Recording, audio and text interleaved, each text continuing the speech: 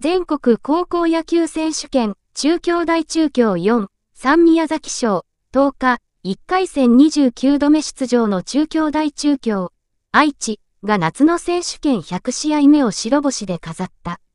宮崎賞を4対3の逆転で破り全国最多の79勝目、21敗を挙げた。夏の白星は9年ぶり、0対0の4回に先制した。1死2塁から2塁走者の杉浦昭越保守、3年が3投。保守の悪送球の間に一気に生還した。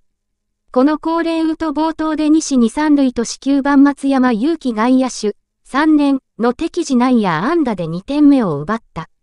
6回に追いつかれ7回表には2位3と勝ち越しを許したが7回裏に再逆転した。西一三塁から4番杉浦が同点敵地打。5番中健太郎内野手、3年の敵地打で勝ち越した。宮崎賞は中京大中京相手に好ゲームを演じたが、16年ぶりの白星はつかめなかった。